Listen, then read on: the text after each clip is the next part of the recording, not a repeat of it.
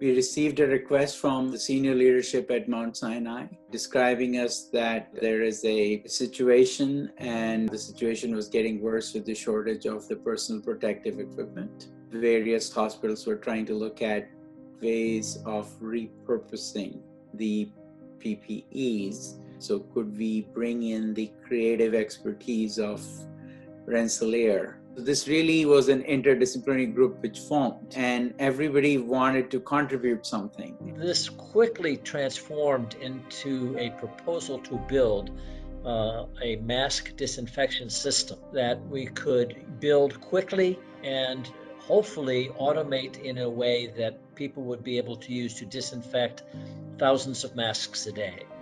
We convened, started assembling very quickly using standard available assembly parts, then started actually measuring UV dose required for what we thought was going to be the dose necessary to disinfect masks. UVC radiation is a line of sight kind of dose. If there's any shadow from the mask or any kind of thing blocking the uh, access of the UVC radiation to the mask, you're not going to disinfect that part.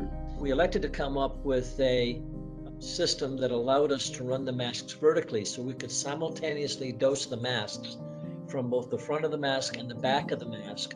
And this is somewhat unique.